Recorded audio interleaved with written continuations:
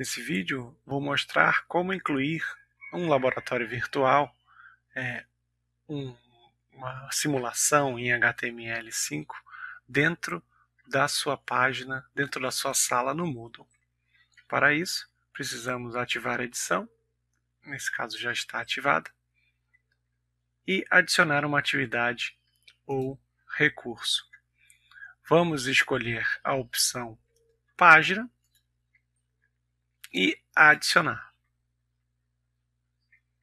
Na nossa página daremos um nome, então é simulação soma de vetores. Então você pode dar uma descrição e aqui na parte do conteúdo é que é importante.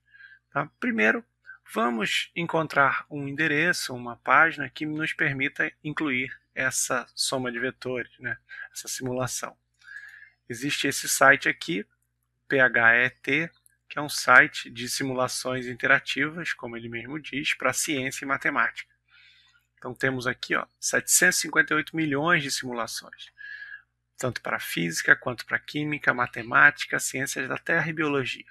Então, como eu falei de soma de vetores, deixa eu ver se eu acho ele aqui. Cliquei em matemática, aqui, adição de vetores. Então, vou clicar em adição de vetores. E nesse momento eu clico aqui em embutir. Cliquei em embutir, botão direito sobre esse valor, copiar. E aí nós voltamos na nossa página.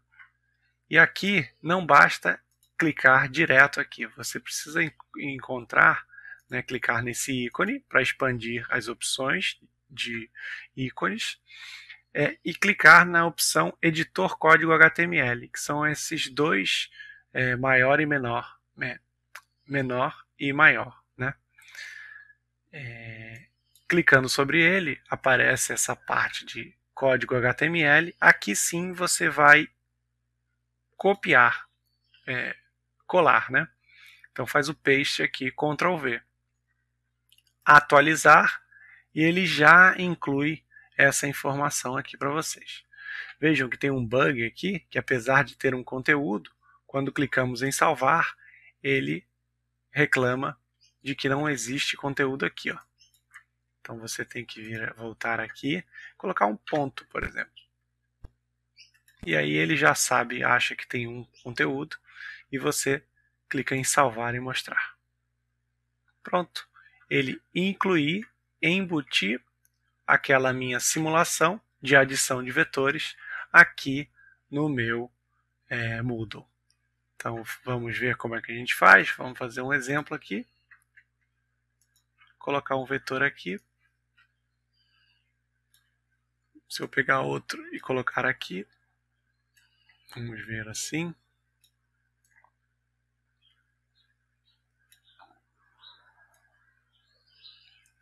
Então tem que dar esse vetor aqui.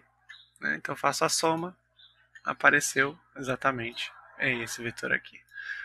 Certo? Bom, esse aqui foi só um exemplo de como incorporar uma simulação é, de um laboratório virtual é, dentro do Moodle. Esse laboratório ele tem várias opções, vários simuladores. Né? Busquem o seu, procurem por embutir e coloquem então na sua página do mundo. Foi isso esse vídeo.